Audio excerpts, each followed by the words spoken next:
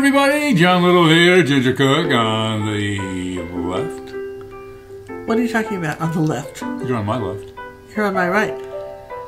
That be true.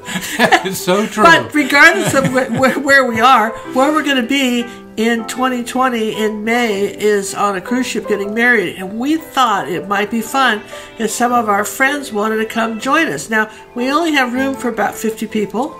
And, we don't even think we'd get that many. But but if you wanted to come, we'd love to have you. We'd love to have you, and um, it's kind of on whoever signs up first. And the neat thing about it is, we it's like in May of 2020, so you've got like a whole year.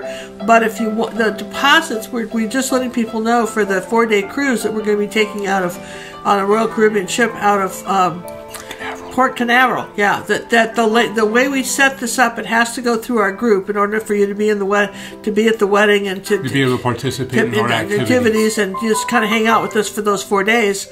And and to do that, you've got to go through our group. And here's the thing: they the lady said that if you if you could commit before I don't know what the The end of this month, the end of this month January of January, then you only need 2019. You only needed a fifty dollar deposit to save you know to save your spot. Okay, so if that's something you think you might want to do, Jon and I saved ten spaces out for people we personally invited as guests.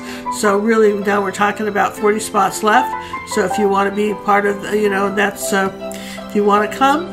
May 25th, 2020 on the is it the Mariner? Mariner of the Seas, Mariner of the Seas out of Port Canaveral. Four day cruise, and we're getting married, but with the On the captain 28th. on the twenty eighth with the captain and everything, and the champagne party and cake and everything. It should be fun. And the full staff will be there Yes, so we hope I hope you can make it, and uh, with uh, bells on our feet. What they say? Bells on your feet? yeah, Bill, that's it. They said Yeah, that. So yeah, you guys, uh, I don't know. We were excited about it. We wanted to, we just wanted a little time to plan this thing out and and not get you know. And I think it's going to be great. Jon and I are continuing our adventures.